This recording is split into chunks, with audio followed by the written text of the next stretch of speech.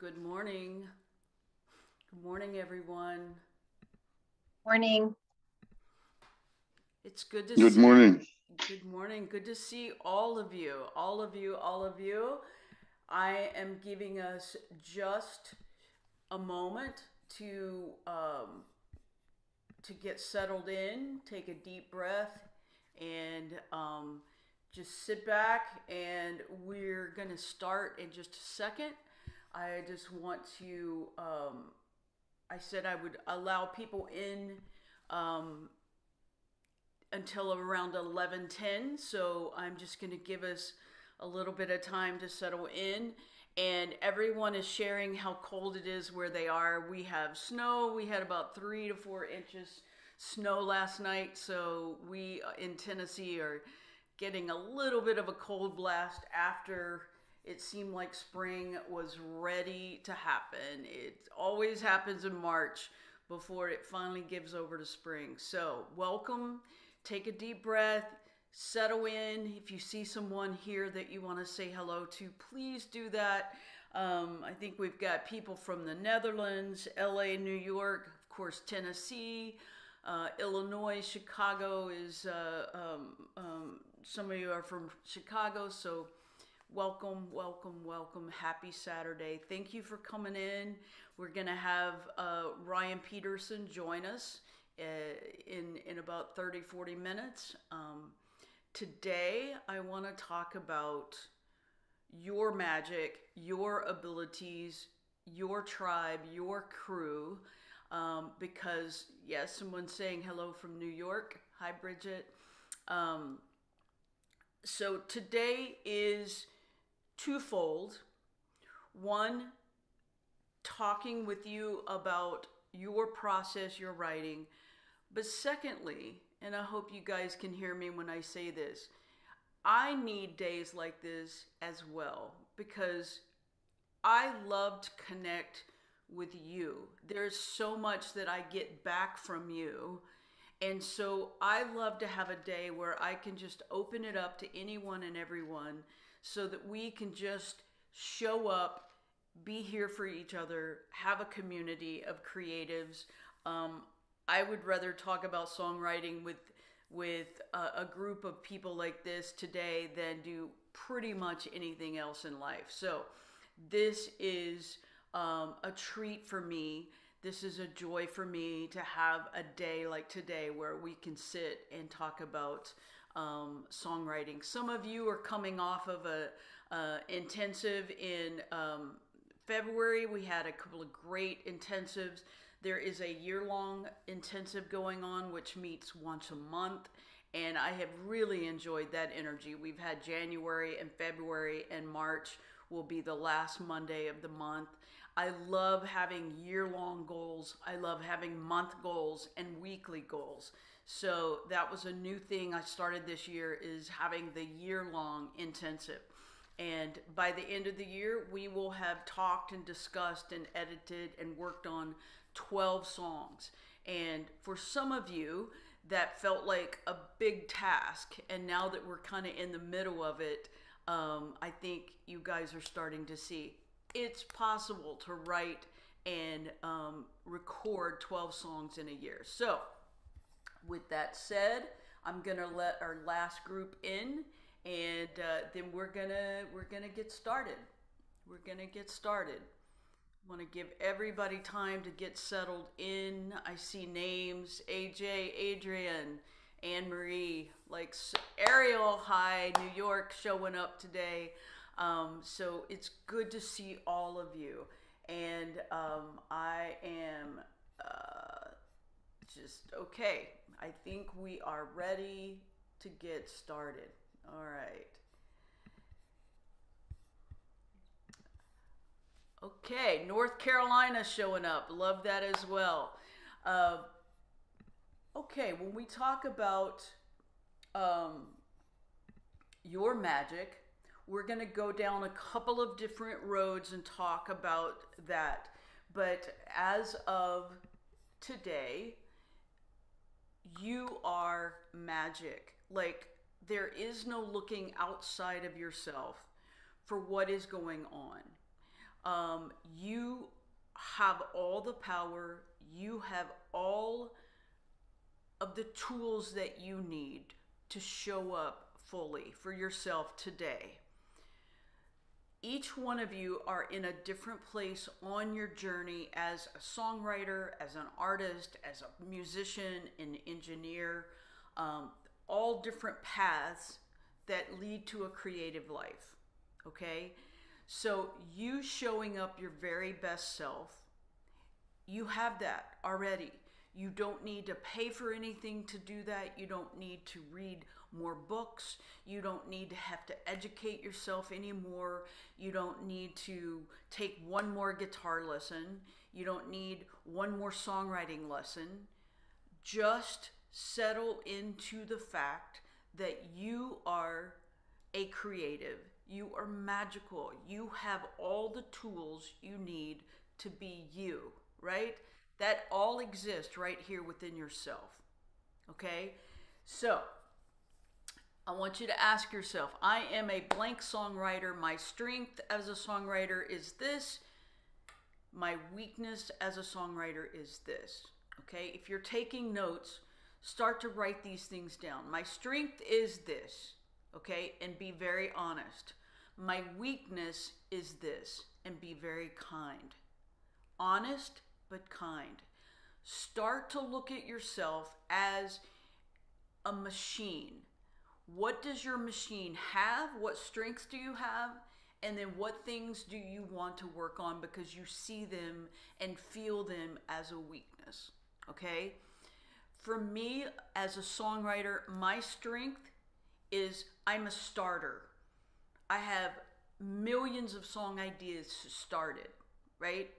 I get an idea, I write it down, I keep it organized, um, and and so that's my strength. My weakness, if I were to have to broad stroke this, my weakness is finishing. I have a hard time finishing work sometimes. It'll sit there not finished, and I keep tinkering with it, tinkering with it, and I never want to call it done. So I have given myself some new set of rules this year in that I start something, and by the end of a day, I try to find a stopping point. Where can I pause this work and listen to it for a few days before I start back in? Because if I don't, I literally just keep working and keep working and keep working on something until I start to hate it. So those those are two of examples of my strength and my weakness. You have different strengths and weaknesses and I want you to talk about that. We've talked about this many times, the triangle. Who of you are lyric writers? Who of you are top liners? Who of you are productions? Okay? So, I'm to let someone in who just popped in. Lyric writers, top liners, production. Now, it doesn't mean that some of you are not all three. Okay? Some of you love to write lyrics and top line and your producers. When I ask you to look at this triangle, what I mean is what do you reach for first? Do you reach for a bass guitar? Do you reach for an acoustic guitar? Do you reach for your paper and your pencil? Do you reach for your computer to start doing a beat? Do you start wanting the tempo and the the vibe and everything? Do you want to create that? Okay? So, what is it you reach for first? That is probably your most comfortable place. I usually have an idea that is a title hook concept. I don't always write the whole lyric out, but the idea is usually what I bring into the table first. What I bring into the room is a concept, a lyric. That doesn't mean it's necessarily the hook or the title.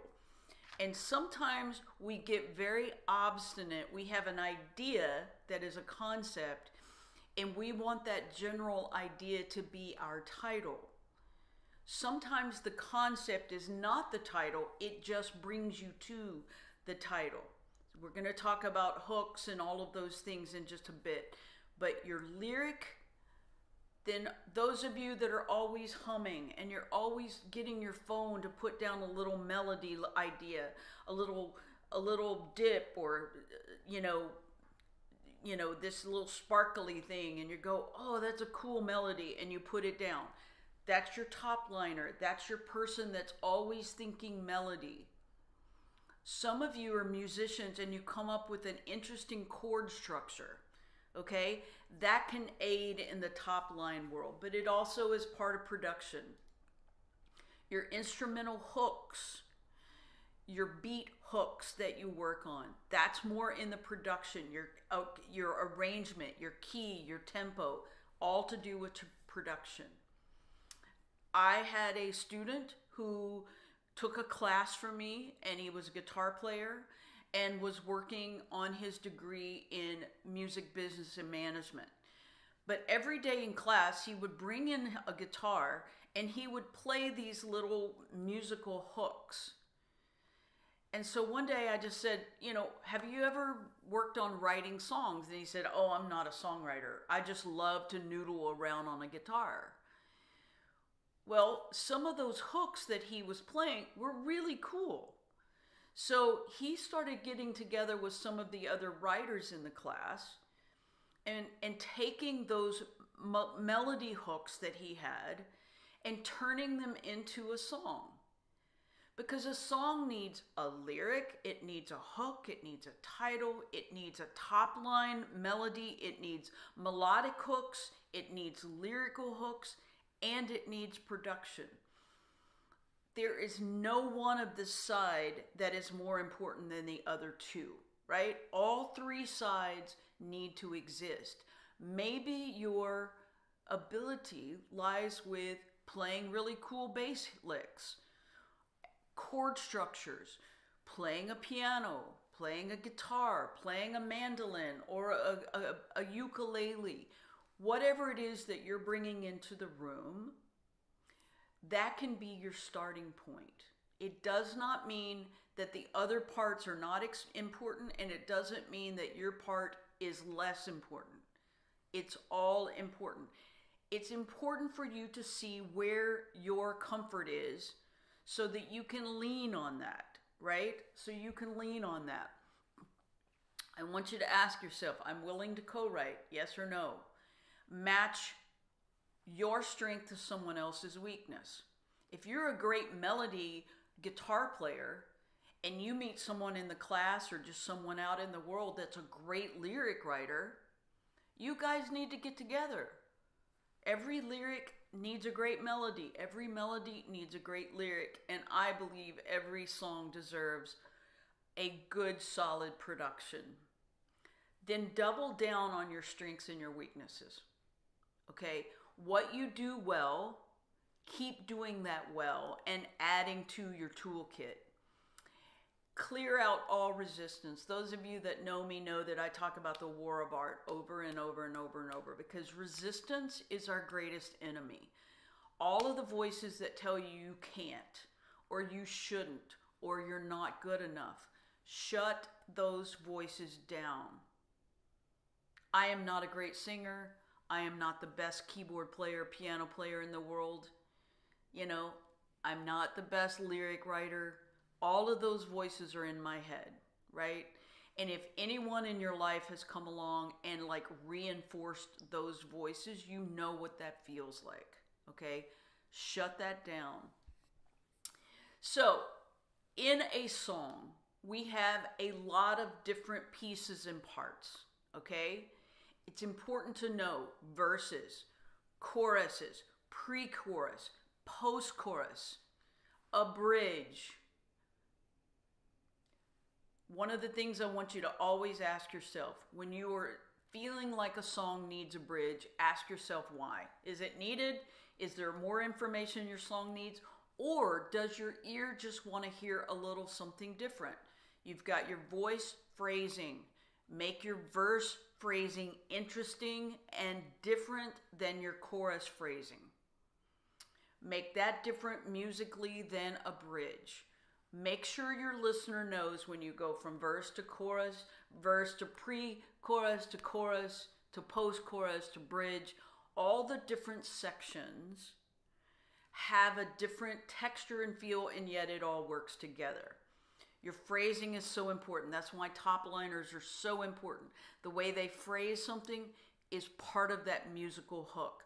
Look at your time signature. Is it 4 4, 3 4, 6 8, 2 4, 5 4, 10 4? Like there are all different types of, of time signatures. Play around with that. The other night I was working on something that I had in 4 4 and I was like, you know, this feels weird and I don't know why, but I'm going to pop it into a different BPM and a different um, uh, time signature and see if I can make it a little more energized. Get the feel of it right.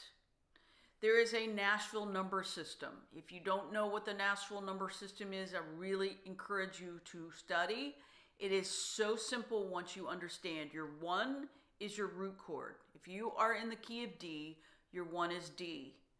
E is two. F, three. Four, G.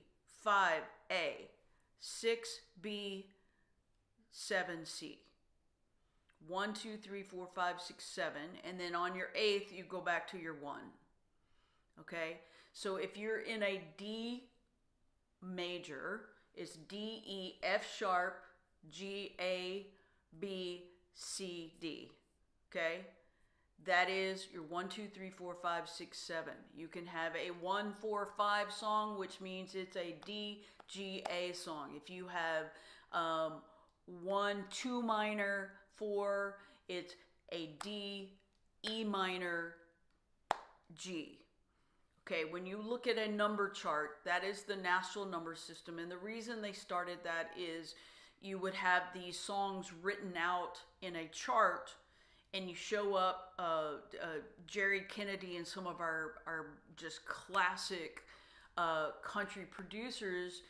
They did a lot of like orchestral pieces. If you listen back to some Patsy Cline work and things like that, Willie Nelson early work, um, you would have an orchestra. So they would have the song all charted out for their people, and then the artist would be like, oh, I really need this to be a half step lower.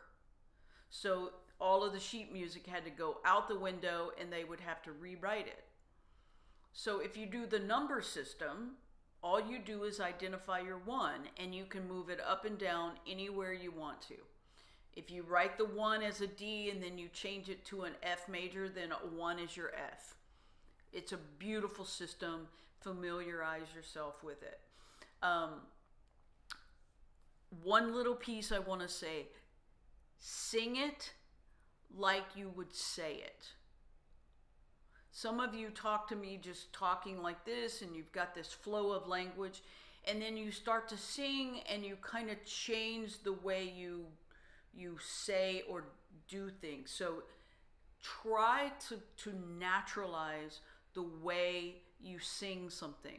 Don't sound so written. Sound relaxed and natural. This goes back to you are the magic. You are the magic. So rely upon where you're from, what your natural language sounds like, and sing it like you would say it. Now, you can bump it up a little bit if you kind of, if everything is just a one, two, three, four, one, two, you can then make the rule of language go a little faster, a little slower, a little, you can slow it way down, sing it the way you would say it. Sometimes when you're excited, you get really fast and you talk and you did that, okay? And then sometimes when you've got a little lower energy, you slow it way down and then you just want to be very deliberate a melody in a song is like a conversation. Sing it the way you would say it. Building a song, your hook, idea, what voice are you in? Are you in first person? I, me, my? Are you in second person? You? Or are you in third person talking about he and she and they? You're omniscient looking over the storyline and you are telling about these characters, okay? So you need to know and don't mix those up. Don't do like verses in first person and then go to third person in the chorus. Then we lose perspective. You have to bring your audience along with what you're talking about. Okay? You can have the voice of a character. You can have the uh, a duet, a true duet are very rare where the lyrics actually work together as a duet. Story songs tend to be telling about these characters moving along. Is it present tense or is it past tense or is it future? Sometimes within a song, you want to tell about the past. My grandpa used to tell me this, and now I do this. And in the future, I'm going to tell my kid this. Okay? You can use the past, present, and future as a moving through a story but you got to make sure your audience is understanding as you move along. Who, what, where, when, and how. It's just like any writing anywhere. You're writing short stories, you're writing fiction, you're writing um, a paper, prose, poetry. Who is in the story? What are they doing? Where are they doing it? When are they doing it? Is it 1936 or is it 2025? Is it 1800s? Probably not. But is it 2019? That's still the past. Or is it going into the future? 2019 had certain words to it, you know, that are time stamped. Okay, so know in your mind what time this is. Where is it? When is it? How is this happening? Like, give us some of the details. Nouns verbs, adjectives, adverbs, you need one unique word every seven to nine seconds. If someone's running across the street, in that little line, maybe they're sliding across the street. Maybe they're skipping across the street. Maybe they're skipping across the boulevard. Maybe they're sliding across the boulevard maybe they're drifting across the dirt road. So sometimes we have a line that is very, it works. You're running across the street. You can get those lines out of you and tell the story, but then go back and read your lyric top to bottom and start looking for ways to have unique words every seven to nine seconds. Some of you are counting syllables. So to say that you're walking across the street and then go to skipping, you can do that. It's still two syllables. But if you say walking across the street and then you say skipping across the boulevard, you're like, I can't do boulevard, it's too many syllables. Then you could say run across the boulevard. You can take a syllable from somewhere else and, and shift it around. Okay? Nouns, verbs, adjectives are those words that describe the nouns. An adverb describes the verb. So if you're running, if you're running slowly, that's an adverb. Okay? So look at your lyric, read it down, find ways to create unique words every seven to nine seconds. Um, your hook, your title, that is important. It is the most important line in the song. It is the core of what you've written. The line before the hook is the setup line. The line before the hook is just as important as the hook itself. Okay? The line before the hook is just as important as the hook itself. And then read your hook, read the line before the hook, then go back and every single line needs to point you toward the hook. If a hook, a title comes out of nowhere, you may love that feeling of like, ah, gotcha. Okay, like, oh, you didn't see that coming. In songwriting, if you want people to remember your flow and your train of thought and your story, it needs to kind of have some logic to it. Okay? Now, I understand, and I'm going to say this clearly. I hope you hear me. I know that I am coming from the Nashville songwriting community. I learned from Nashville songwriters. I have so many young friends, 18, 20 year olds, that are writing songs, and they don't follow a lot of the same rules because they're coming from a very emotional place, a very honest place, and they don't feel the need to have a hook or a title the way I do in my learning and growing up as a songwriter. So I'm leaving room for all people of all shapes and sizes, right? If I hear an incredible song and the hook is not exactly clear, I'm still going to let them know I think it's an incredible song. Okay? I am not saying I'm right and everyone else needs to follow what I say. I am telling you some things to work on that I feel like will help you be clear. Because let's go back to the why we're doing this. We have something that we want to talk to people about.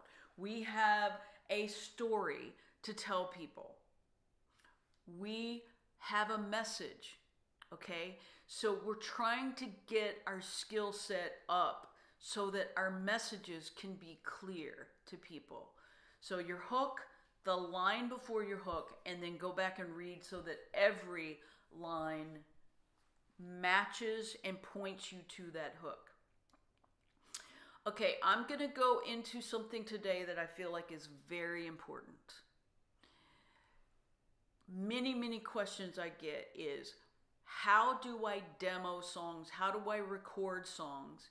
And some of you uh, come to Nashville and you spend upwards of 800 to $1,000 per song to record. I completely support you. If that is what you want to do, great. That's awesome. Okay? Not every person has that ability. Here's what I want to talk to you today about is if you are looking for ways to up the value of yourself as a songwriter, there is what we call a work tape, which is usually just a voice memo on a phone. Then we go into demo. And then a master is what you call when you are releasing a song out into the world. Okay, so those are just three words to be familiar with work tape, demo, master. Okay, not everyone is looking to put a song out, so they're not needing a master. They want a documentation of their work. Look right here. Use what you have. Use what you have. We have this mentality that we don't have enough. So that little piece of trying to get a work tape into a demo, which can cost 800,000, 1200 bucks, that is not doable for all of us. It's not doable for me sometimes. Okay? What do you have in front of you that you can work on getting your work tapes, your demos to sound better? If you have GarageBand on your MacBook Pro, I encourage you to do a couple of workshops online on YouTube and learn how to just open up GarageBand. You don't even need a mic. If you do, you can get a USB mic, super simple, under a hundred bucks. Plug it in. Start to get just a simple guitar vocal in GarageBand, in Logic, in Ableton, Fruity Loops, Pro Tools. That's moving into like bigger, you know, DAWs than than just GarageBand. I'm telling you, GarageBand has all the tools you will ever need to get great work tape demos learning how to EQ, learning how to record, learning how to just kind of give yourself a little mix, work on your song, intro, verse, chorus, all the way out in something on your own laptop in your own house. And I promise you, adding those skill sets to yourself as a songwriter, I don't care what your level of interest is. You don't want, maybe you don't want to be an engineer. I don't want to be an engineer. I want to be a songwriter. But about eight years ago, I realized I don't want to spend a $1,000 on every song that I write. When you're writing 80 to 100 songs a year, that is just cost prohibitive. But there were songs I wanted to study. Is this song worth going from demo stage to a master stage? So the way I could do that is I started in GarageBand about six, seven years ago. I moved up to Logic about four years ago. I am still in learning phase. I I did a workshop yesterday afternoon, like pulled open something about EQ and compression and sat for 45 minutes, took my notes, got back to work, and because I'm still in the learning phase. But now I have every song that I write that I want to record, I can do right here in my own space. Use what you have. Create your space. So I dug into uh, some of my notes from another class. No matter how small it is, it is sacred. Treat it with respect, protect it. Where is your space? My space used to be out of my house. About three years ago, I moved it into my house. I have a room in my house that has all my stuff around it. Very simple. It's not soundproof. That's why I work on headphones a lot, is because it's not, you know, soundproof and I've got people around me, so I try not to be loud. Okay? Paint the walls the color you want. Put the things around you that you want. Um, you know, I have my paper, my pencils. I've got, I've got, you know, a couple of computers and a monitor. I have a couple of keyboards, a piano, a rug. I finally just got a chair that I love. It took me years to find the right chair, right? Because you get a bad chair and you sit in it for six or seven hours and your body is wrecked by the end of the day. So, no matter how small your space is, it may be a corner of your kitchen. It is your space and it is sacred. Put the things around you that make you feel comfortable, that make you feel creative. It is sacred. It is sacred. My puppy dog got in the door the other day of my room, and uh, I didn't see her get in here. And I got back in here, and I had MIDI cables chewed up. I had a, a pair of headphones chewed up, and it's just like there's a reason she's not allowed in, right? It's sacred. But the door somehow hadn't latched. So, lesson learned keep your space sacred and safe. It is your space. Meet the page with who you are. Honesty, not anger. And that was a note to myself right there. Honesty, not anger. Um, this goes back to your magic. What song do you want to write today? Like, what do you need to talk about? Are you going through a divorce and you need to talk about that? You know, do you have a kid that just went to college? Do you need to talk about that? Do you do you have a brand new kid in your life? Like, did you just have a baby? Did you know? Are you a husband and your wife just had a baby? Maybe you want to write a song to your daughter for her to listen to on the day she gets married someday. Whatever. What is your story? What is your magic? What stories do you want to talk about? Do you need to talk about some trauma? Do you need to talk about friendships? Do you need to talk about, you know, uh, your faith or the loss of faith? Like, we all have this human experience on this planet and we have so much in common, right? So much in common. Talk about those things for yourself. You don't need to tell your neighbor's story. You don't need to tell somebody else's story. Tell your own story. Honesty, vulnerable, in the language that you use on a daily basis. Don't worry about the rhyme scheme. We could go into all these rhyme schemes of, you know, what A, A, B, A, A, whatever. All of those things are things you will learn as you move along. The core of what I am about is finding your voice and your magic and what you want to say. And this goes into um, um, this. I, I I teach a class at MTSU in the commercial songwriting department, and an article that uh, we talk about is written by Cindy McTee. It is not feminine alone which creates all that is a beautiful, emotional, um, hang on one second, pathetic, affectionate, charming, nor is it the masculine alone which is able to produce the well constructed, soundly organized, logical, and the complicated. Everything of supreme value in art must show the feminine as well as the masculine. The feminine as well as the masculine. If you are a male songwriter, and your songs have a lot of like movement and fun, energy, uh, you know, just black and white. Here's the story storyline.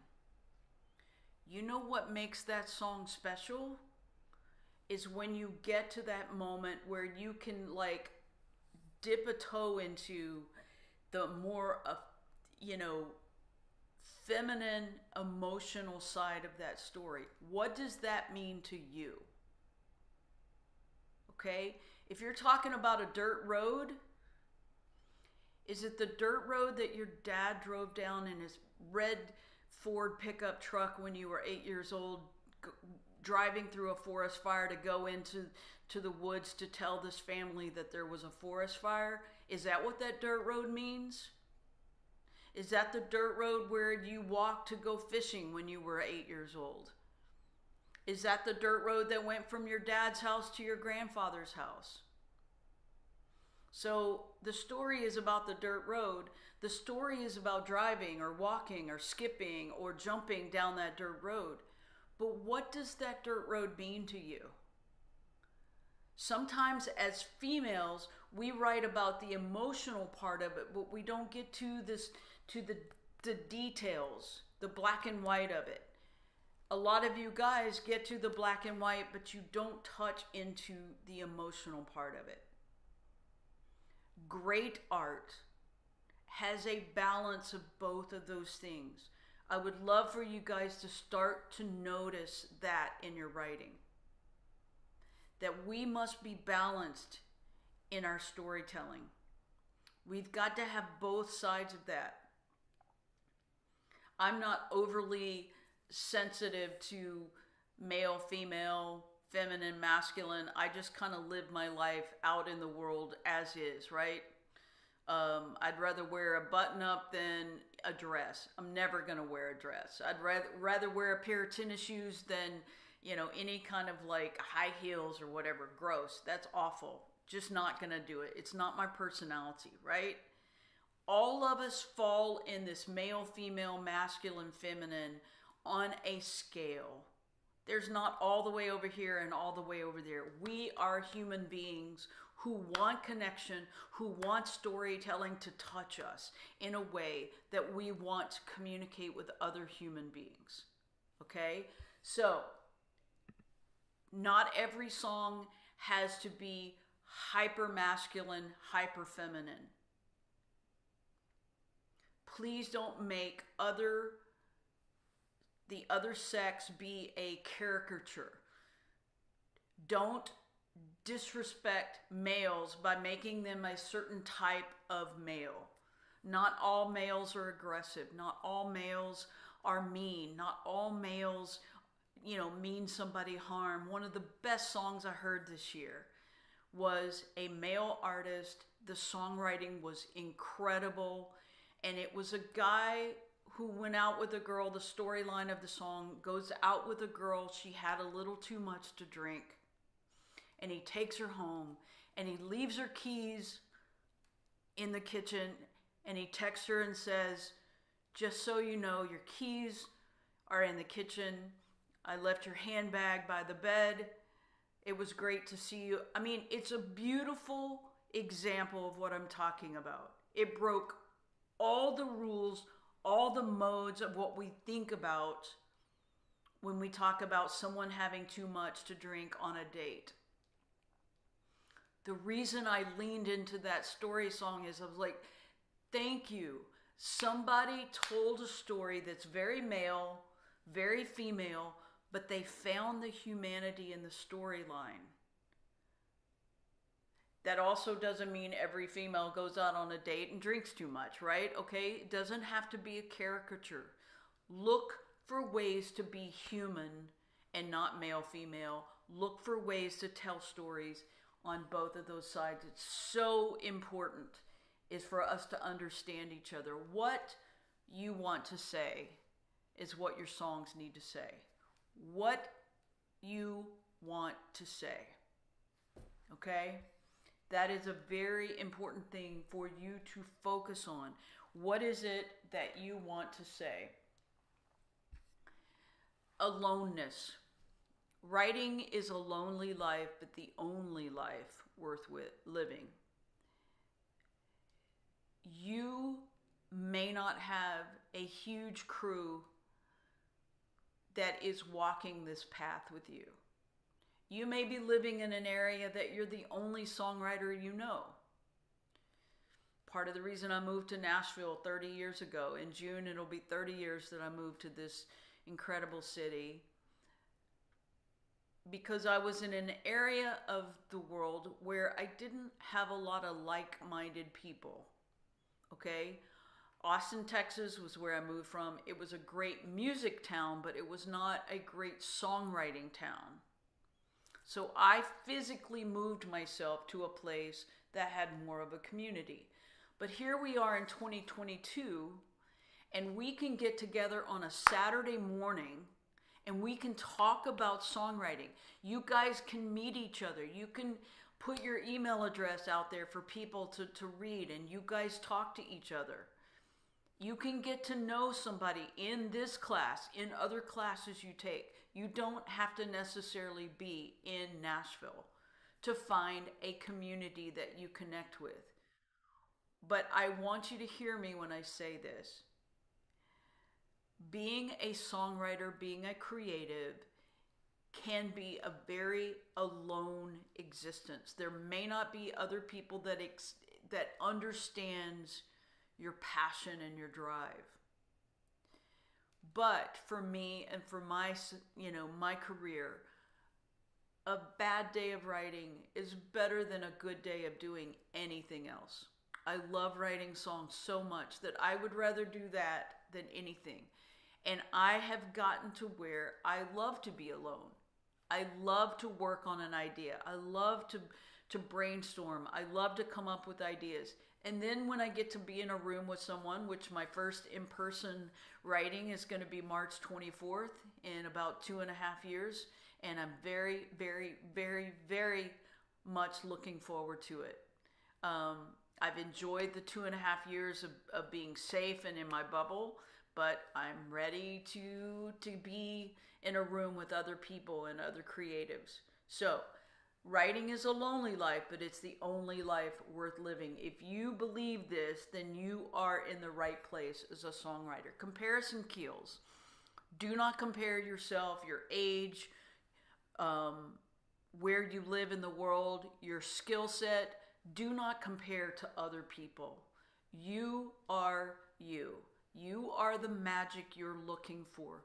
You are the team that you're looking for. So start with that and then build yourself out from there.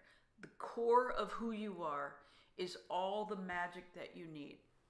How to be an artist. Make some art. Does it look terrible? Yes. Then you're an artist. Make art. Make some art. Does it look terrible? No. Then you're an artist. Make some more art. It doesn't matter the quality at first. You are working on just the health and well being of you and of the work. The art, the craft will get better the more you do it. But the heart and soul of the songwriter is the thing I want to talk to. And I want to talk to about being healthy and balanced and taking good care of yourself because that is the part where you start this core creative in the middle and then you're adding layers to that as you go along. All right, I am going to um, do this so I can see all your beautiful faces. Um, wherever you are, whatever you're working on, can it get better? Absolutely. Can it get worse? Absolutely. Can it get harder? Absolutely. All of those things are true. But where you are today is where you start. You may have been writing for 20 years. You may have been writing for 50 years. You may have been writing for two months. None of that matters. What matters is where are you? Who are you? What's going on with you right now in this moment? What stories do you have to tell? What stories do you want to share with other people? Those are the things that you can dive into. Will you write a better song tomorrow than you did today? Probably, or maybe not. Who knows? It's it's all a process. Will you be able to support yourself as a songwriter? I don't know. There are years I can say, yes, I supported myself this year with songwriting. There are years I say, yep, I didn't make enough as a songwriter this year. You know? You have songs that come out and you have high hopes for them and they don't work very well. Does it mean the song's not good? No. It just means that's just the world that we live in, right? What is your measure of success? What is your measure of meaning? Why are you doing this? When I was a part of a, not when, I've been a part of a song called Invisible. It's a Hunter Hayes song that came out a few years ago. It did not make it to the top five on the country charts. I think we landed around 11, 12, and that was it. Okay? It didn't even receive an ASCAP award, and you, you need a certain amount of points in a year to get an ASCAP award. I didn't get an ASCAP award. It did not earn enough points in the year that it came out to get an award. And that's a little deflating, like, oh man. The letters that I get from people all over the world of what that song means to them is worth every ounce of energy that I put into the song. Every ounce of friendship with Hunter because that song came out of just a very honest conversation between us about feeling like a misfit, about feeling like the world was against you and feeling invisible. Maybe you feel invisible. I understand that feeling. The song did not get the awards that I thought it would get. It was nominated for a Grammy, and anytime you say nominated for a Grammy, that means it didn't win a Grammy, right? That's my favorite little joke about that. If you say nominated for a Grammy, that means did not win a Grammy. Where do I go to? I always look at glass half empty, did not win a Grammy. It was nominated. Where are you looking? Where's your energy go? It's so much easier to focus on the negative instead of the positive. The deal is, I got an incredible writing day with one of my best friends. We sat and told stories about how we sat alone at the lunch table in middle school and high school because we didn't fit in. I wasn't a partier in high school. And so I didn't fit in with all the kids that were doing all the cool stuff. I felt like an outsider.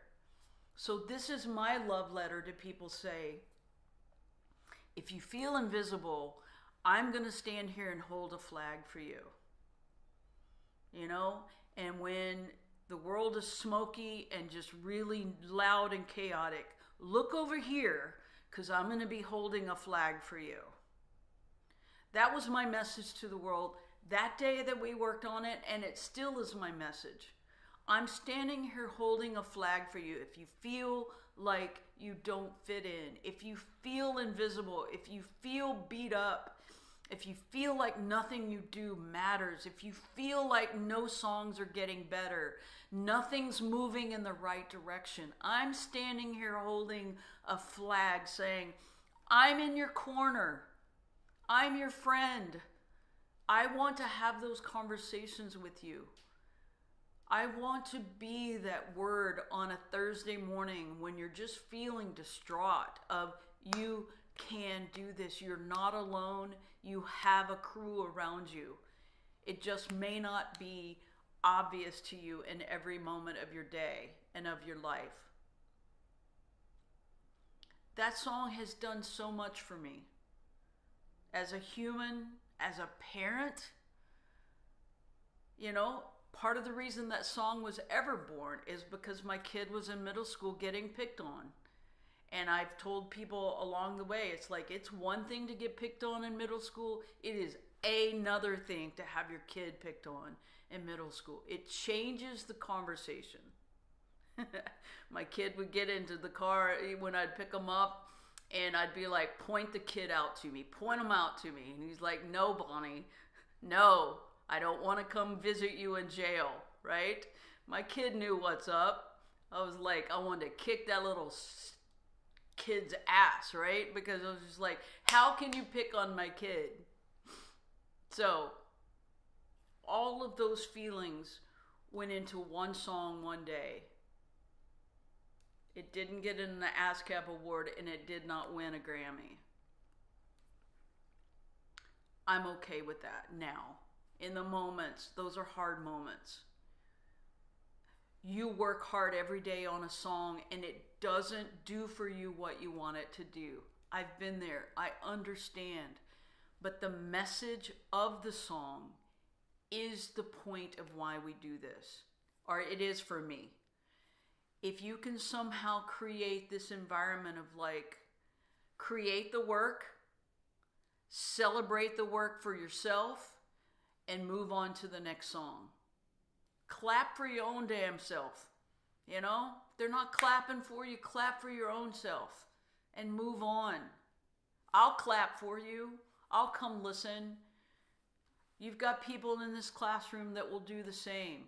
We will celebrate the moments together. Some of you are working on a chorus today and you're like, this chorus is driving me insane. That's part of the process and that's okay. Celebrate the moments. For one thing, you get to write songs. How cool is it to be stuck on a chorus? Right? How cool is it to get to pick up an instrument and get to write words down on a page and try to make it all make sense?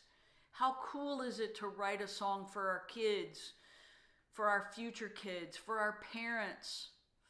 I mean, I swear to God, I can talk to my mom better in a song than I can sitting in a room with my mom. I don't know why. You know, she and I just, we don't, it just doesn't work. But man, when I sit down at a piano, my mom's going to come sit right there with me. We communicate in a way that nobody else can help me do. I can have all the therapy in the world, and me sitting down and playing a song for my mother is the best way I can communicate with her. That's what I want for you. That's what I want for you. I want you to find the ways that this world of songwriting saves your life. Saves your life. It will save a lot of things in this world.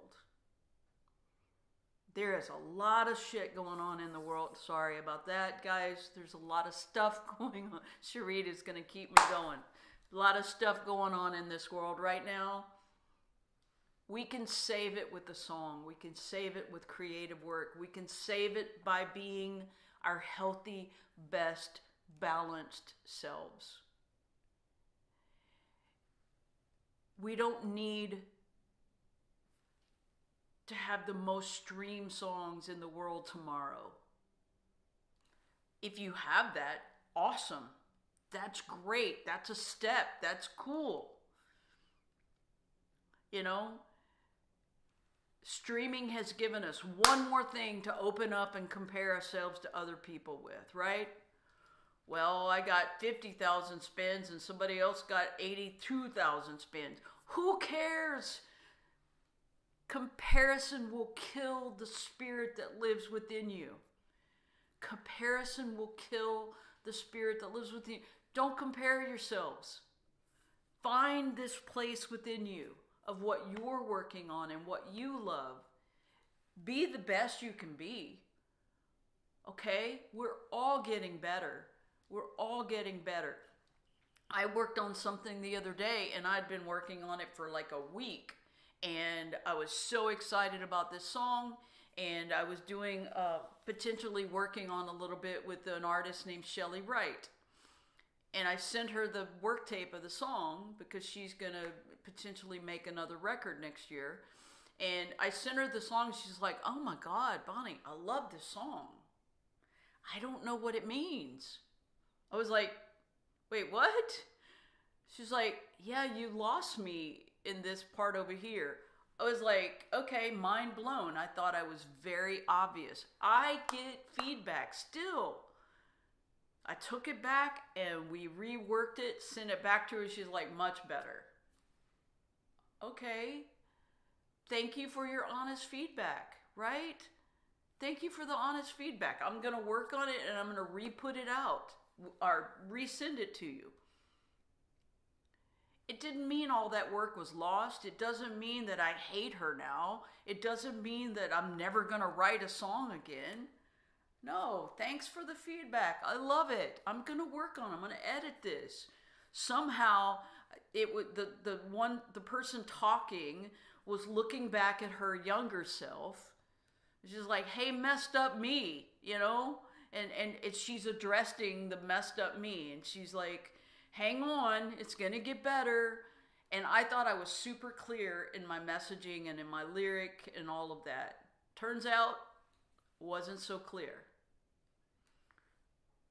awesome a day of working on that is better than like winning a marathon a i couldn't win a marathon because i'm never going to run that far I always looked at people running marathons and I'm like, what are you running from? What's going on? Why do you got it? You know, we have a little group on the east side here called the East Nasties, and they run hundreds of miles in the year, right? And they log it all, and they all like buy their shoes at a certain place, and they, you know, they wear these little vests and they run through, you know, our side of town like just mile after mile after mile, and I love them for it but will never understand it. I was just like, oh my God, I would rather be writing a song sitting in my room. But there's joy in what they're doing, just like there's joy in what we're doing. It's not a sprint, it is a marathon. It is a long term life that you're signing up for. You are signing up for. I want to be a creative who's living a creative life and I'm healthy and I'm balanced and I am in love with the life that I'm living. Um, all right, I'm winding up and I'm going to. Um, there's a couple of people in the waiting room I'm going to let in. I want us to settle in, get a little break, a little coffee if you need it, a little bathroom break. Um, if you're going to the bathroom, just uh, make sure that uh, you turn off your camera if you need to do that. And then we're going to have a conversation with Ryan Petersen, who is a producer writer. Yes, Stephen, agree. He's amazing. We're going to, um, he was going to be at his studio, but because it was uh, kind of a snowy day, he may be in his house. We're going to talk about his journey as a creative, very different than mine. And we're going to also talk about um, how to get your work tapes and your demos the best they can be. You know, like what are some just very simple ways to get your work tapes to feel right and feel good. Um, all right, so hang on for just a second. I'm going to turn my camera off and get a little coffee, and I'll be right back. Take a deep breath, look over your notes. We are going to have a little time for a little bit of a Q&A in the in the end. Um, so be thinking about anything you want to ask. I know some of you are coming to Nashville for Tin Pan South, which is uh, the last week of March going into the first couple of days of April. Um, I know Rona is here and, uh, she's going to be here along with some other people. And uh, it's a great week. It's a, a, week of songwriter nights that uh, the NSAI put on, which is the uh, National Songwriters Association International. So if you see anything about Tin Pan South, it's just literally hundreds of writers shows going on at the same time all over Nashville. It's a really uh, amazing week. Um, so take a deep breath, get some coffee, take a little break, and I'll see you back in two seconds, all right?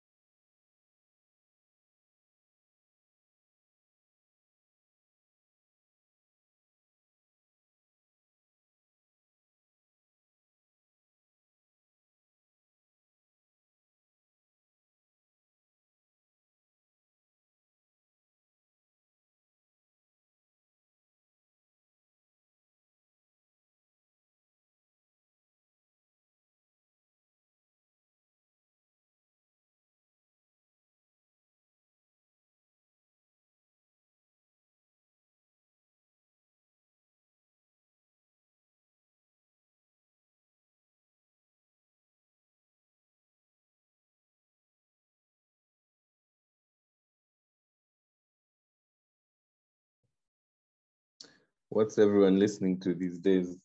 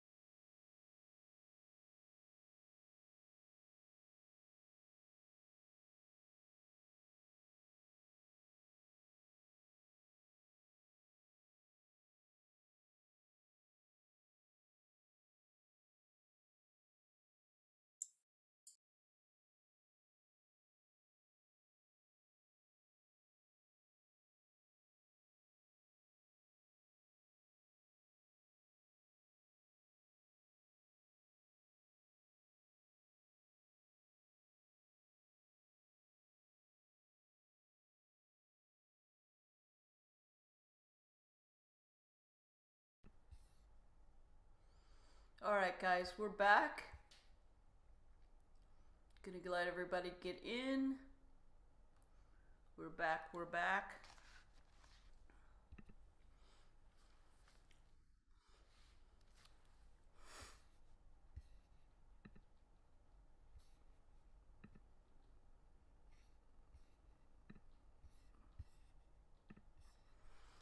Good morning.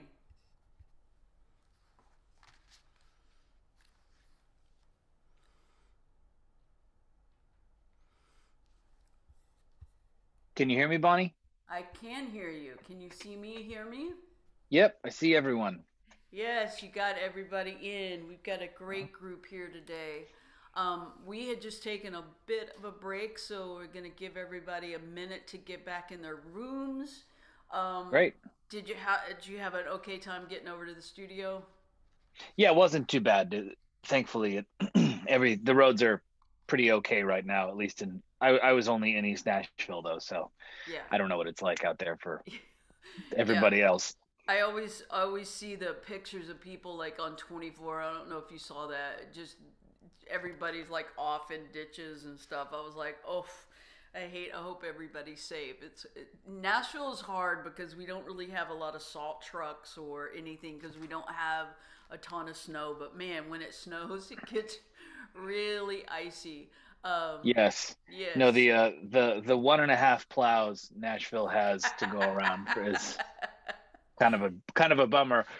Yes, it is. Well, thank you for taking time out of your Saturday to come over and, and talk to us a little bit. We've been talking about song structure.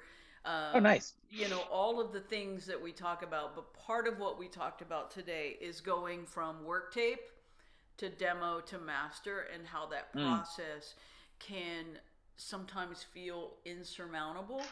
And Yes. um, as with most things in my life, I like to simplify, simplify, so I can wrap my arms around it. So, first and foremost, I um, just want to let you guys know that uh, Ryan is uh, born and raised in LA, uh, had a, a dad that was involved in the music business as a songwriter, very successful songwriter, and I'll let Ryan kind of give you a little bit of his history, but um, part of my favorites are birthday parties you had at studios with like amazing artists and that kind of thing. I'll let you kind of give a little bit of background.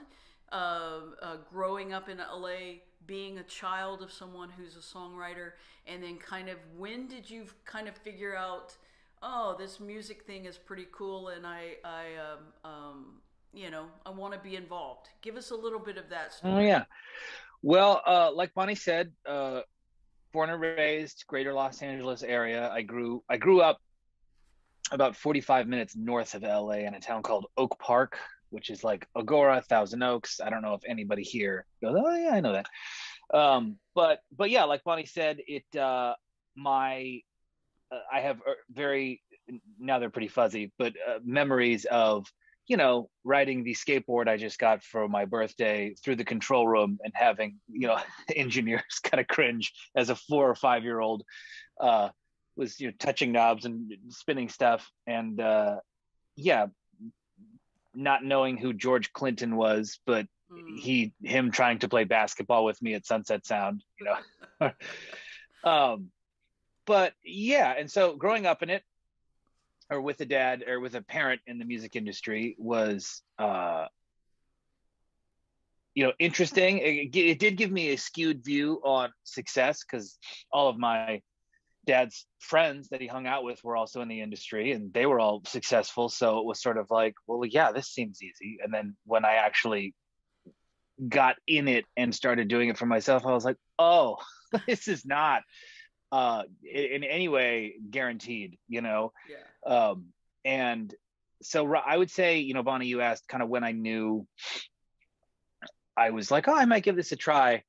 Uh, I started taking piano lessons when I was a kid, and then I transitioned when I was in high school from playing piano to uh, studying drums and I started taking drum lessons. And that's kind of when I got bit by the bug. I remember for Christmas, I got one of those really tiny, probably honestly like the size of an iPad, Mhm. uh, coffee, like digital coffee table recorder units. I think it was a Roland VS 1680 or an 880 or something.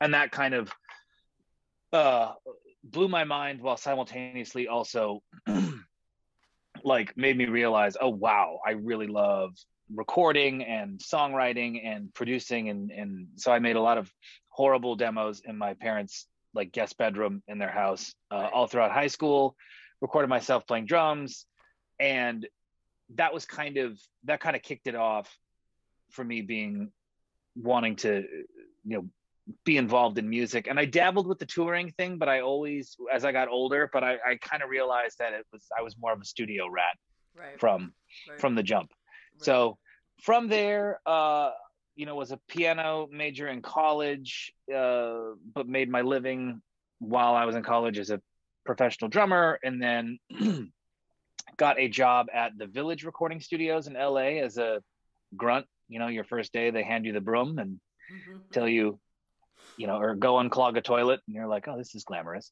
Um, and I remember a funny story from my first day. I, you know, it's it's in Santa Monica, and I don't know if any of you are familiar, but West Side in Santa Monica area has really really strict parking laws and you can't park on certain parts of the road at certain times. So my first, you know, job was cleaning and then doing runs, so going and getting food for people. And first day I go in, Smashing Pumpkins have all three rooms fully locked out. I was like, this is amazing. And then they said, okay, we also want, you know, we need some food, some some dinner or whatever. So I say, great, and I, I'll go get your dinner. And I go park my car and I get a ticket, and the ticket cost more than I made the entire first day at the job right. because I wasn't aware of the the parking laws in that part of town. So I went backwards. I started at a loss. Yeah. Um, but then uh, from there, I worked at the village for a couple years as and worked my way up through the system to be more of a assistant engineer, and then started also hanging my shingle out to be a you know freelance engineer, and from there, kind of ended up you know meeting and working with a lot of great people and you know from switchfoot to glee to a publishing deal with sony atv and to that all kind of led me to where i am here right now Absolutely, yes, and um, did a lot of vocal production uh, work on Glee. Um, I, I always shudder at the idea of how many tracks you had to deal with on Glee and that kind of thing. So, um, I'm gonna uh, uh, let's let's dive into because production work and writing songs are a little bit different. So when Mhm. did um so you're involved in studio work, playing drums, playing piano, learning how to record, learning Mhm. when did the idea that like oh I want to dive in and learn how to write songs when did and that kind of intuitiveness of like song structure and all of that when did Mm. that start kicking in for you initially it was with like my high school bands and and you know i was i've i was then really but also have tried to carry through my professional career of really having a student mindset always trying to learn always studying always going okay like why why does that work? Why is that successful? Um or why doesn't that work? You know and that was initially working with you know bands kind of original collaborators and co-writes and trying to figure out the way to put together uh the best song song structure wise but i would say that it really didn't i didn't really like start trying to really pursue writing until i was in my early 20s but i got to witness a lot of top tier writers at the village and i mean again i grew up with a dad who was a songwriter so the, I, I was it was sort of around me all the time right whether I knew what was happening or not.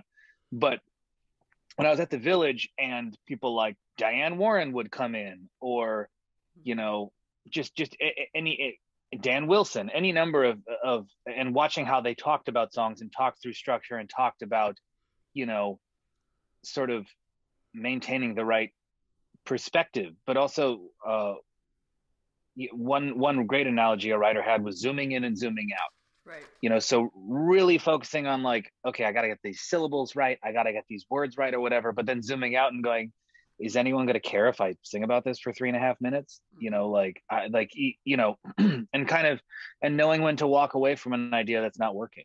I right. think that was right. that was pretty wild is watching i was so precious about my ideas early on.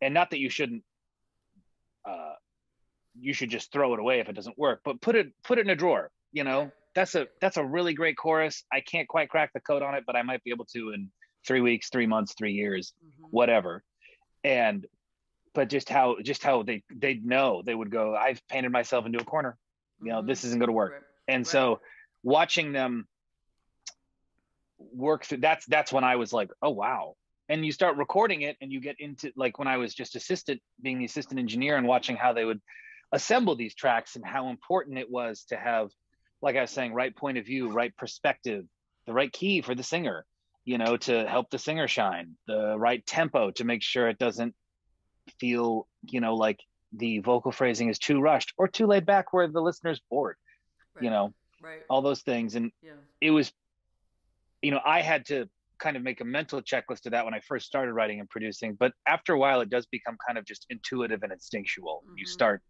it, you don't you don't think about it so much. You just know it's a feeling. You're like, oh yeah, that feels great, or mm, that's not working. Right. You know. Right. And so I would say early 20s was when I was really aware of it and Right. really started studying it. And that's I signed my publishing deal when I was 25 or 26. Um and I'm only 27 now, which shows you how rough the music industry is. If you look at me, no, uh, I, no, but I was I'm right there with you. I mean, 29 maybe. Yes. Yeah. Yeah. Yeah. Um, Exactly. Um, but that's awesome. that was like- Yeah. 25 26 so i kind of had an idea of what i was doing and then you start submitting to publishers and labels and i mean i had a i had a mean publisher he was Right. he was not a nice guy but it was like songwriting boot camp and it, Right. it was it was basically like he would i would spend weeks on a track and he would just send a one word response yes or no and it was like ah whew, that was you know that was And- rough And that brings up a great point. I think a lot of times, as songwriters and as creators, and we touched on this just a few minutes ago, we need confidence building. We need people to pat us on the back. You did a great job. And I think sometimes people feel like that's going to come from a publisher. And I have to tell you, 27 years of being in a publishing deal, I never got um, like that great job from a publisher. I mean, most of the time it was like, yeah, you turned in a song today. Okay, what's next? And so we we're learning how to kind of like do the work, celebrate the work, and move on to the next step. You know, so it's like. What is success? What is the things that we're reaching for? And uh, so that that's that's funny because I had I, I think we've talked about that before. That you know if you're looking for the touchy feelies, it's not going to probably come from a record label or from from a publisher. No, Um, you you think it is because that's kind of the the apex. You know, it's, it's sort of like okay, well you're the you're the next the next step is the artist, and you Right. might be working with that artist, and if if you're as in love with it as I am, or even half as much, it's going to be great. And they're like, it Yeah. can just be really a slap in the. It can feel like a slap in the face, but also now having done it a bunch, that's not necessarily as much as I wanted it to be their job. It's not their job. It's it's not their job, and I guarantee you, when the number one party happens, they will be there, and the first thing they will say is, "I believed in this song from the day I heard it." The exactly time." if, if if you want an if you want an instant good job send send send your send your song to your to your to your mother right. that's anytime i want to feel good is i just hey mom check out this jam she's like this is incredible i'm like hell yes Yes, right, it my is. day I, yes, it is. Makes my day.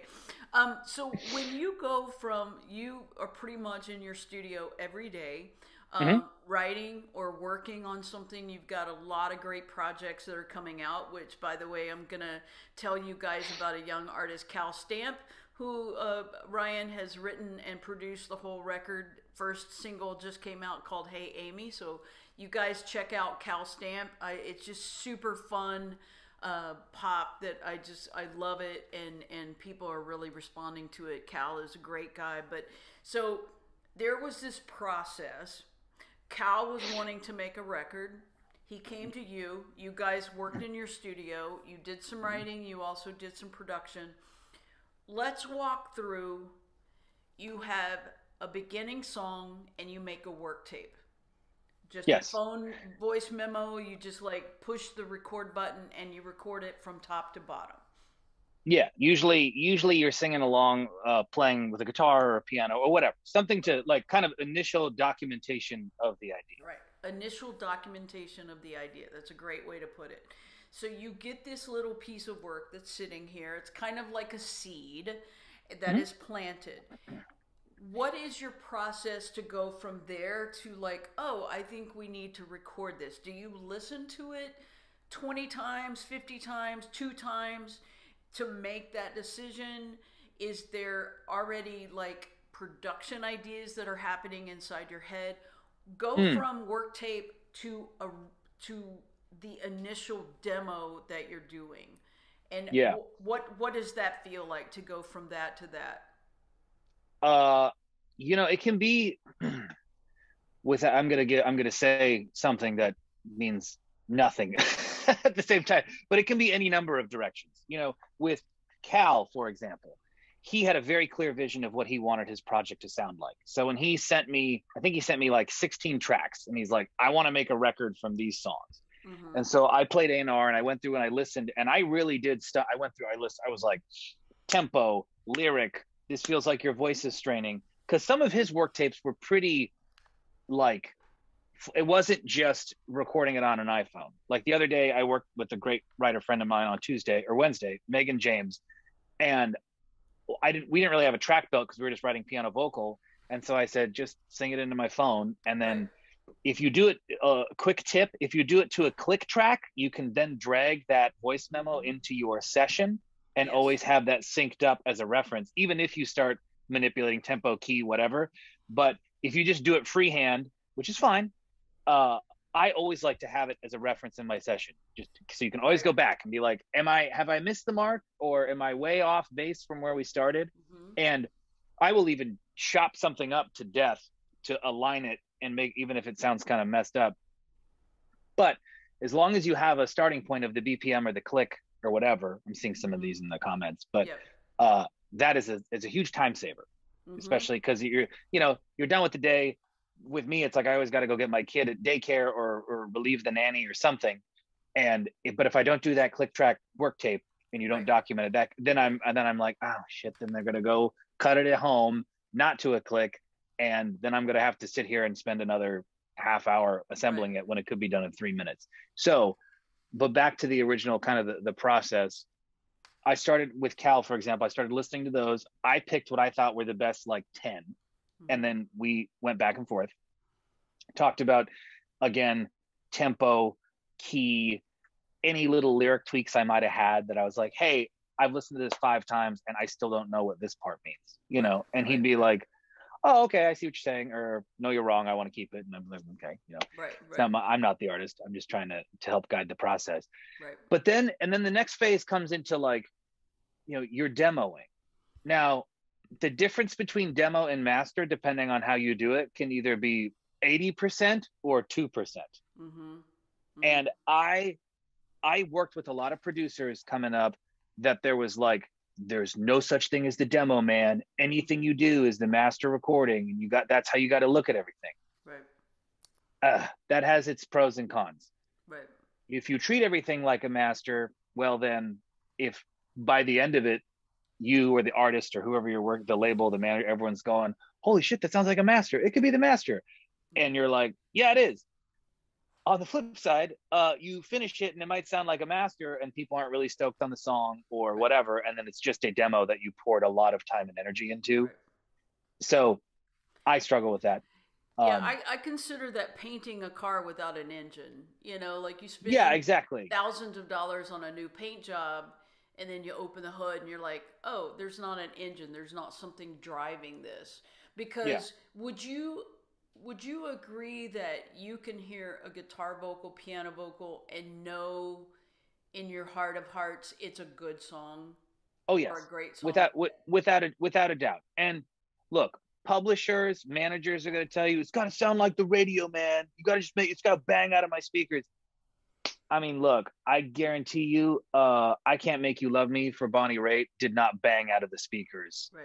when they when Mike Reid and um, Allen Shamblin, you know, played that for people. Right. It was a bluegrass demo, Right. and that's in my opinion, that's one of like the top three best songs ever written. Ever so- written. yeah.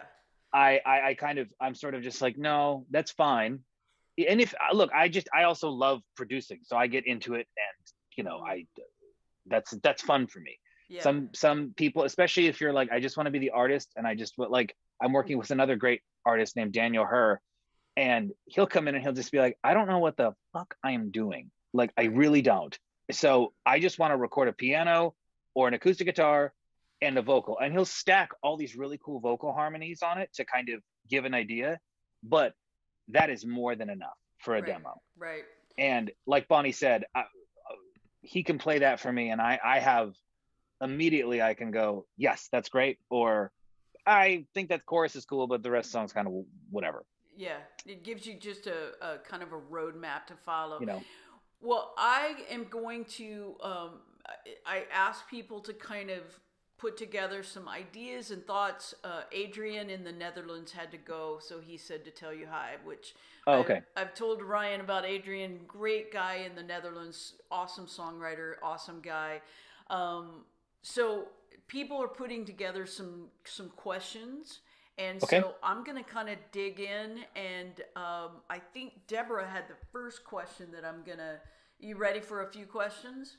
I am, but real quick, if I could Okay. just finish my thought. Oh, I'm so Um, sorry. No, uh, we didn't get to the master phase. Oh yeah, yeah, yeah. Sorry, sorry. Yeah. So, but basically, like Daniel will bring these songs in, this artist I'm working with. It'll just be a vocal, piano, maybe a beat. He might put like a little kick snare thing to kind of inform tempo.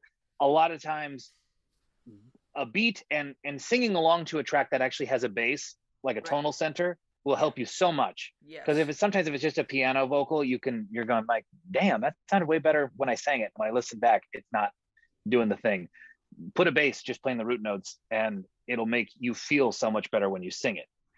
Um, yes. or for the artist you're working with, you know, it's it's a weird. I was again one of those things I saw at the village where the person didn't couldn't really figure it out, and it was kind of a young producer, and the executive producer walked in and said, "Oh, just put a bass in." And it was like the skies parted, and Right. they were done in like five minutes. They've been working for three hours. right. So Agree with that. um, and then the jump to master. Now, if you're like me and sometimes you spend a lot of time on your demos, well, maybe the master is just a couple of mix tweaks, or maybe you used fake acoustic guitars and you cut real acoustic guitars on it or something. Right. Um, or if you're doing more of like the the kind of true demo, stripped down piano vocal, guitar vocal, bass, whatever, um, then you do it's kind of the sky's the limit you know Mhm. if you have the budget sure you can go to blackbird and hire the best players in town and be in a great room but there's um so many ways people are making master quality recordings now and like i mean there's that website SoundBetter where you can go look for players to play on your stuff. And like top tier like aaron sterling sean hurley. I mean you name it. These guys are like the who's who you know what it's like when sean's not on tour with john mayer you can hire him through SoundBetter. It's like Right. it's a great way and i'm not even i have no skin in the game on SoundBetter. I just like the i just like the concept.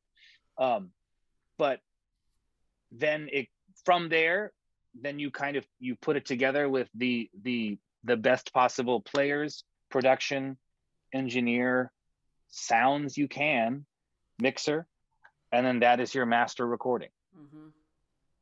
you know It's just it. You, going from seed to small plant to like just it grows into like this more fully formed piece of work.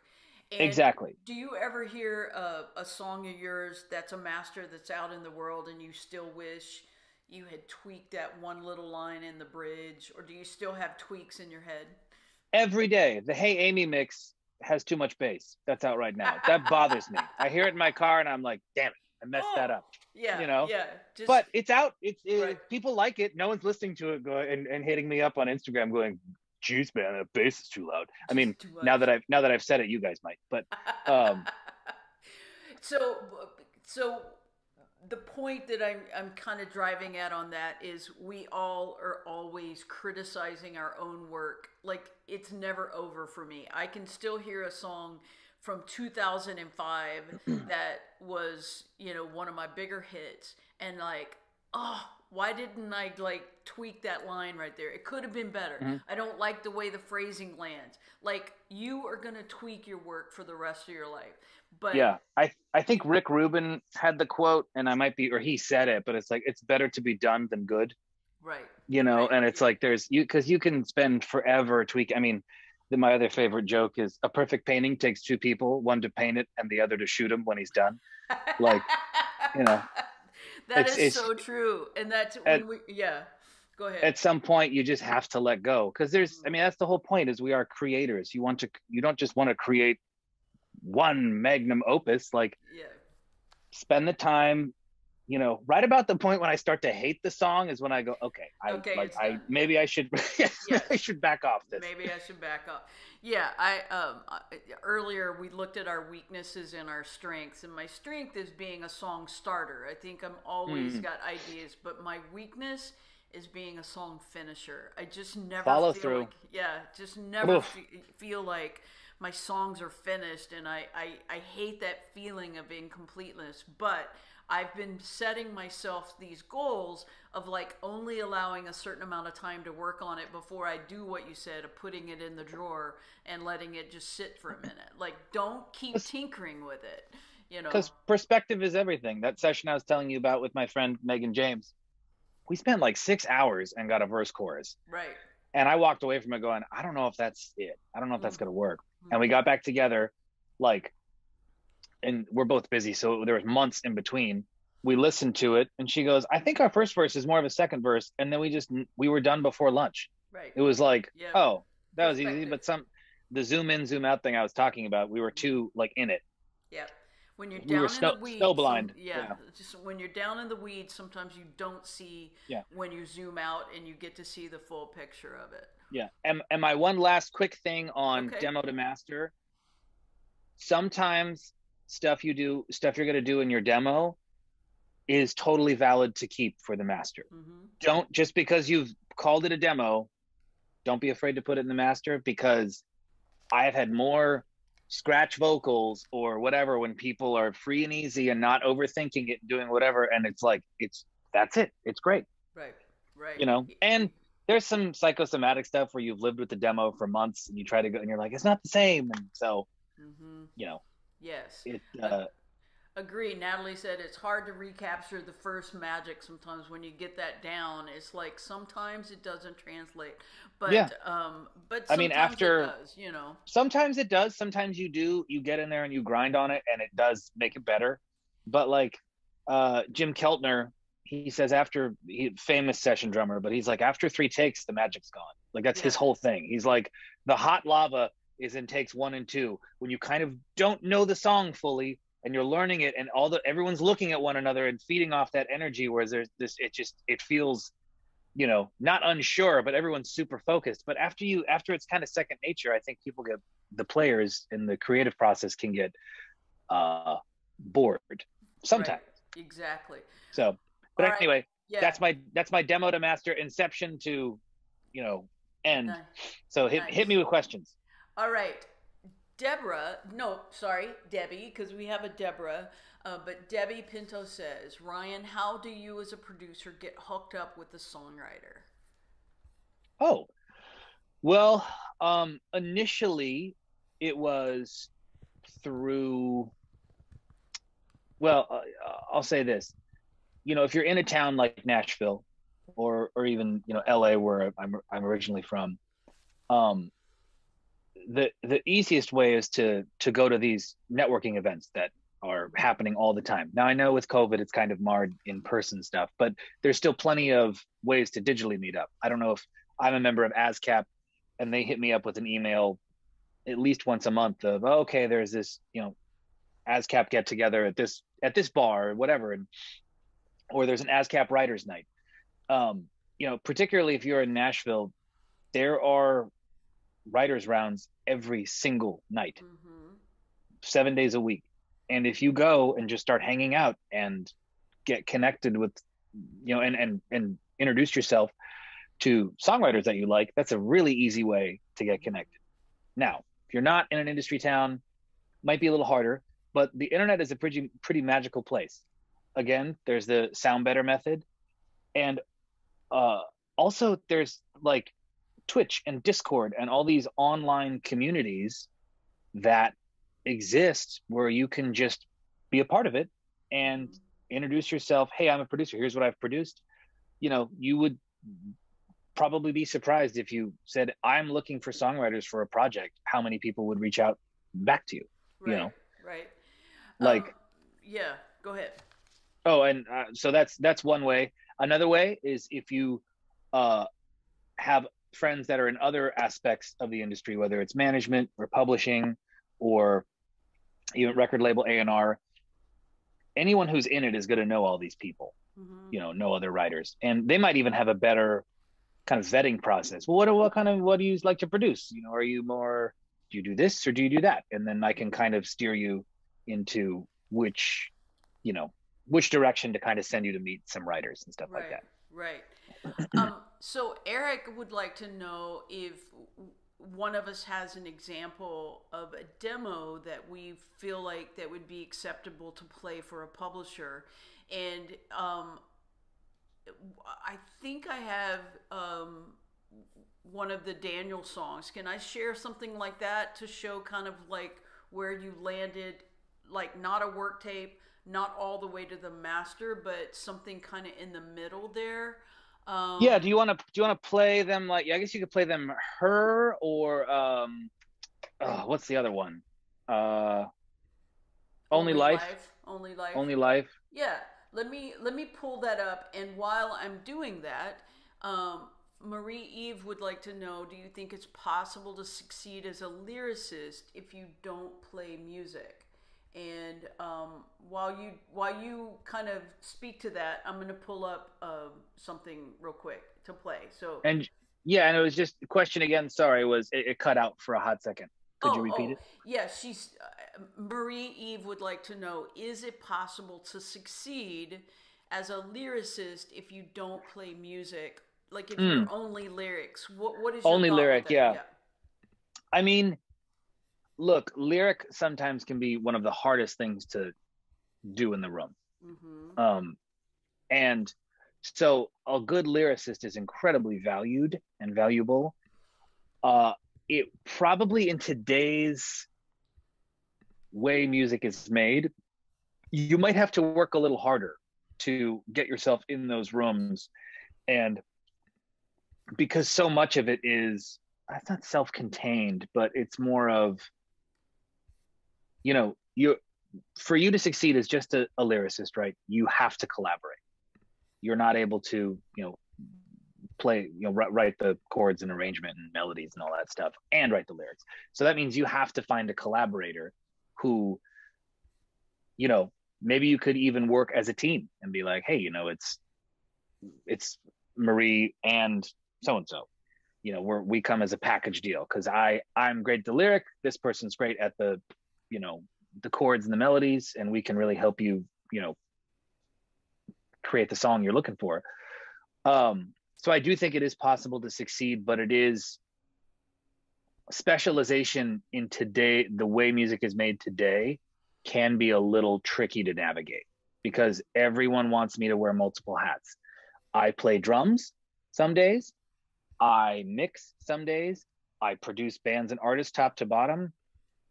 I play session keyboards like it's you know every day i'm wearing a different hat and if i only did one of those things i would only be getting 50% of the calls that i get hmm so you might just have to pound the pavement harder but i, I mean I, I think it's possible Yeah. And and that's where we go back to like creating teams of people, like know what your strength is. you yeah know, and that's exactly connect with people that do what you don't do.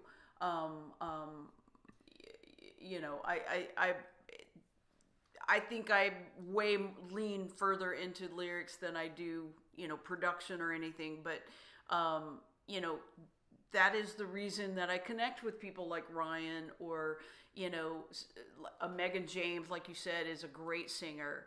Daniel's a great singer, and you connect with those people that uh, um, see Paul right here just spoke up and said, Marie Eve, I need, I have projects that need lyrics. So there are ways to meet people that that need what you do and uh, bring that to it. Okay, so I popped open and I I don't have my Ryan file in front of me on this computer. Um, by any chance, do you have that on your computer or no? Only Life. If you- checking I can't believe that I don't have it on this computer. I was like, oh, I had everything but that. Um, and and check that real quick, and um, I'll make you co-host, and that way you can share. Um, I'm gonna pull up just a couple more questions. Um, Ariel says, What do you recommend as a way for an artist to try out working with a particular producer before investing in a full project? Do you start with a Mm. song or a demo, for example? What What do you suggest? Meet them for coffee before you play a note. Um, no, I I've learned more about just hanging out with the people because this is someone you're going to be spending a lot of hours in the room with. Like, put the money aside. You know, the person's 500 1500 5000 dollars, whatever, of your hard-earned cash to help you bring your idea to life. If you don't connect as humans, that's it's it doesn't matter how good they are. You know, it's that's the I mean, that's the biggest thing with collaborating with people is if I can't stand to be in the room with somebody, Right. uh, it doesn't matter how good they are, Yeah. and you know, or how how good of a fit, or how you know. I remember my publisher, be, I can't wait for you to work with this person. And I get in the room and be like, after 25 minutes, be like, okay, I mean, what? ah, like, hey, dude, my grandma's on fire. I gotta go. Like, I, ooh, like, you know. that's that's great. Um, so so and then Yeah. uh, make sure they vet them you know like uh, on your own and ask them play them your demos hey what do you think of this because also if they're great and you connect on a personal level but they're like hey i don't really like your songs oof, that's also not going to work right. so right. so i think and, uh, to and the I think and being honest, I think is so Yeah. important. Like if you meet someone and you honestly don't feel like you'll work together well, go ahead and save you both some time and energy and money and effort because if if if the feeling isn't there of like true collaboration and respect, um, like I can be in the room with the best songwriter in the world and they just kind of have this condescending, disrespectful tone. I don't respond well to that, you know? So it's like they can be brilliant and it's just not going to be something that I feel great about. So I, I do think being equally tied to someone that you you love their work ethic but you also love the work you know? I think that's important.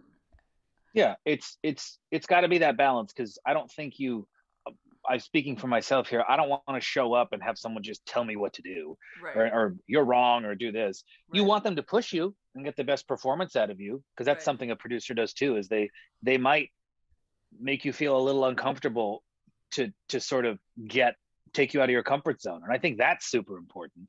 But there's a difference between pushing you out of your comfort zone and being an asshole right and sometimes you know i've we've all been there coworker boss doesn't matter and you're like hmm, yeah you're kind of a jerk Yeah. i don't really want to hang out with you Yeah, pushing somebody to be better is different than being condescending or toxic. I talk about toxic Yeah. relationships. It's just like in a relationship in life. If you have a co-writer, a producer, uh, a player in your band that brings a toxic kind of energy to everything, I don't care how good they are, you will do yourself a service by kind of cutting that out of your life. You need positive um, push and pull. Like, you know, like sometimes you're right, sometimes you're wrong. Sometimes it's not about right and wrong. It's about, you know, but you don't want to get along to just get along. Also, you want the best product. So, um, yes, say no to toxic energy. There was another um, uh, question here. Ariana, I think is how to say this. Ariana, I recently received advice that I should learn how to fully produce my songs on my own since hiring a producer can often be costly.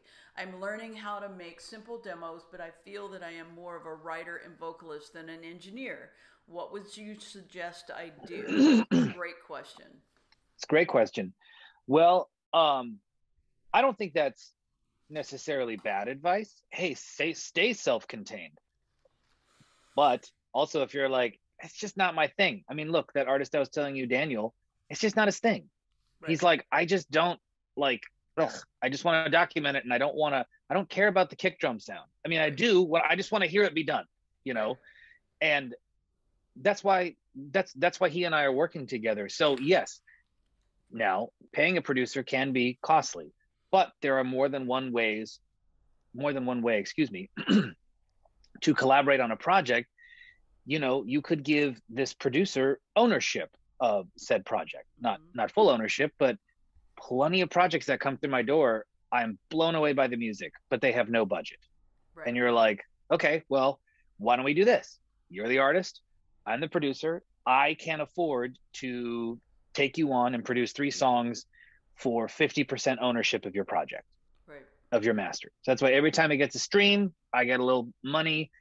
And in, at the end of the day, if the project pops off and a record label comes sniffing around and they want to buy the project for X amount of dollars, then I get half of that money. Right. So there are plenty of producers who, if they like what you've got going on, are. Eh, I mean, a lot of my friends who are doing great stuff. That's kind of how they operate with independent artists. Right. Because yeah, I don't. When a label calls, I have my label rate, but label's not always calling, and so when independent artists walk through the door, and they have a little bit of money or not enough, or you know eh, then you can there's there's a lot of ways to kind of manipulate that to make it work to your advantage where you can both get something you feel good about and you want to be a part of Right. Um, uh, I am. Um, hang on, I'm still looking at questions here. Um, Sharita, who is lovely, amazing voice, Sharita in Florida. Hey, what's up? What's your best single tip or piece of advice for us? What's something you wish you had known when you started? And we're gonna answer Oh. that. we're gonna answer that, and then I'm gonna find a, a Ryan um, kind of piece of work that's not a master quite yet that I can play. why don't for i just i'll just forward this to you bonnie while Okay, cool, perfect. i if uh, uh, baker management is that the best one Yeah, that's the best one. That's fine. okay While you talk to Sharita, I will grab Ugh. this. Uh, single thing that's a lot of pressure on that question right. I will say this. I wish the thing I didn't do uh the uh, I don't really know the exact way to it's it's it's one thing but chase heat. I sat in a lot of meetings where people told me my my songs weren't this or that or to to this or to that and you know i was in a relation i was in a professional working relationship with a publishing company and so you you're you're wanting to take their advice and kind of maybe do what they say so that they will then take your song and pitch it harder. Um but i i i started to realize the more i tried to make the song something it wasn't or i tried to write something that i wasn't or produce something that i wasn't the like exponentially less cool it got. Mhm. um so it's uh i don't want to say don't care what other people think because that's not right but just grain of salt you know everyone's got an opinion on this. There's no wrong or right answer. And if someone says oh it needs to be you know i mean i remember one time an a&r telling me the whole song needed to be sped up one bpm and i was like for real? One Yeah. bpm One that's the deal breaker yeah. like that's that's gonna be the thing. Um and like a clown i did it. Because i was like i was so desperate for that like Mhm. please do something and then of course you know the song nothing happened with it Right. so exactly. like just just kind of you know we all have we all have dreams and goals and desires for our song to get somewhere uh but like don't like just keep doing what feels good to you because honestly what is cool to you and what you're excited about that's what's going to make everyone the most excited that's what's going to make everyone notice and and be like yeah and you know not everything needs to sound like at the time dr luke was ruling the charts and it was basically like hey this needs to sound more like Taio Cruz or Katy perry and i'm like well no just call dr luke yeah. like yeah. don't i'm not If you want a Dr. Luke song, call him instead of me trying to be. Uh, Yeah. You know the version of Dr. Luke that I can be. yeah a, a, a cat in a rabbit suit is still a cat at the end of the day like exactly. I love that.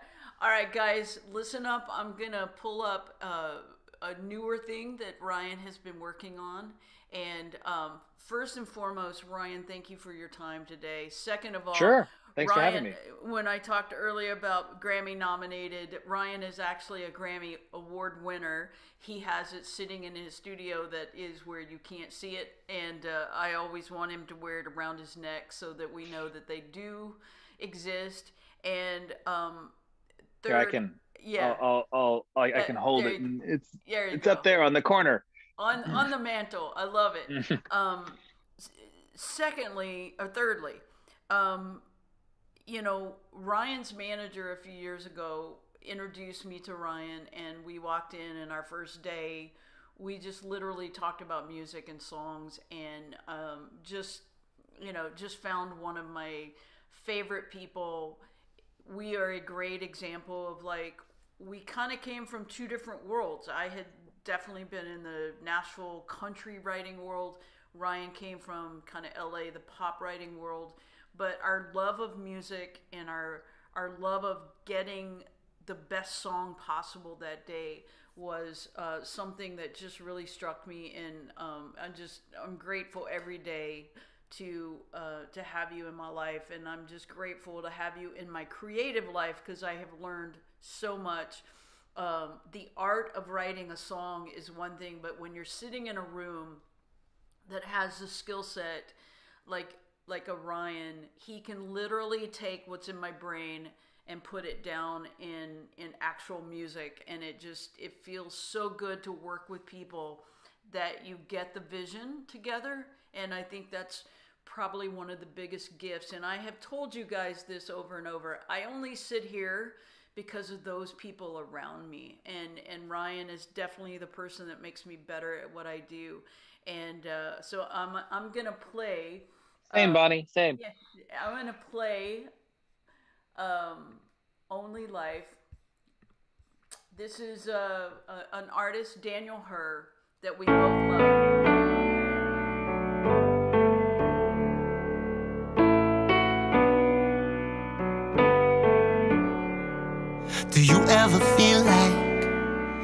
never end your day? Burning with the same fire that brought you wide awake. Do you ever feel like nothing ever goes the way? You planned it out in your mind, so why try anyway? Do you ever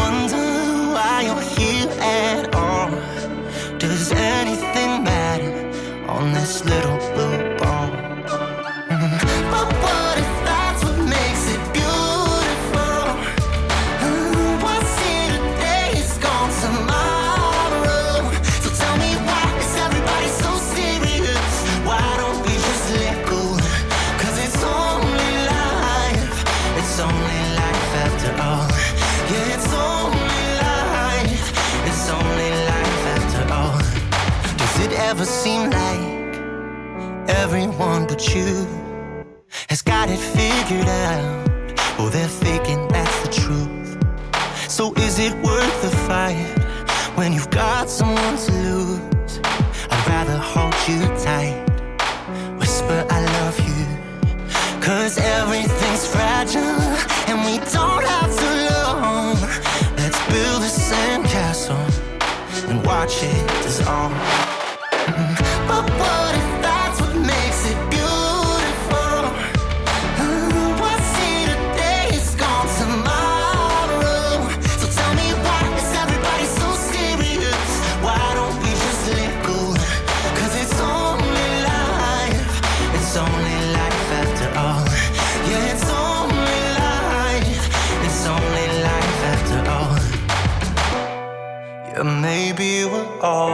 just little bits of stardust.